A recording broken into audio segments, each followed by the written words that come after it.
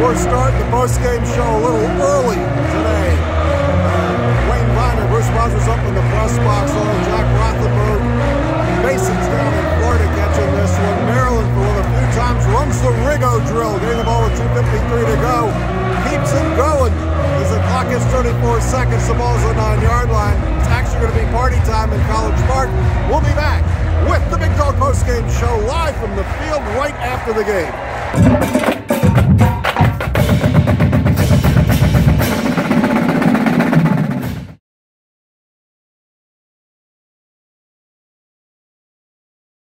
A great evening in College Park, Maryland, 30-24 over rival West Virginia.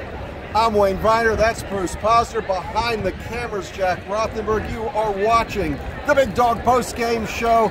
Bruce, that was great. It was great. I loved how they won it. I tell you what, I was totally, totally confused in the third period with the rushing game.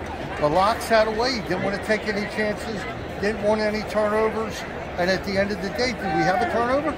Uh, turnover, you count the fourth down, we didn't get That's not yes. a turnover, but I mean. Well, in the book, anyhow, no, but West Virginia had three. Um, several of those plays came right at me. I was sitting in the end zone. You can see the pictures here on the Demus touchdown, on the uh, Rock Jarrett touchdown, on that big run from Fleet that got it to the nine. I just kept waiting for West Virginia to pull away. It seemed like they about stuck at 21-20 for an hour. Yeah, at 21-17, you were worried, I was worried. Then you had the ball hit the goalpost 52 yards. Good to see that. Yeah. And you start wondering, is this going to happen again? But somehow or another, the defense kept us in the game. Yeah. All right. It was uh, Hippolyte and the whole crew. Hippolyte. Hippolyte. And, and, the freshman who had to play because Gote got hurt. And Rogers, our guy. Our guy. I actually right. saw him after the game. Uh, if you haven't seen it, you got to watch the team sing the fight song. I got in the middle of that dog pile. It was fantastic. Jakorian Bennett's interception in that end zone down there, and you can see the pictures behind us that that changed the game again. It yes. looked like West Virginia was going to win the game. That did it. It was, listen, a great win. You play 12 games. This is one that can go either way. Now what do you need? You need two more non-conference wins and three conference wins, and they're going bold. All right, and certainly expectations will be a lot higher after the night. The uniforms look like old times. Right. They played like old times. I feel say? like hugging. you. I don't know. We won. we won. That's all that matters. Jack, thanks for doing this. We have to get inside for the press conference.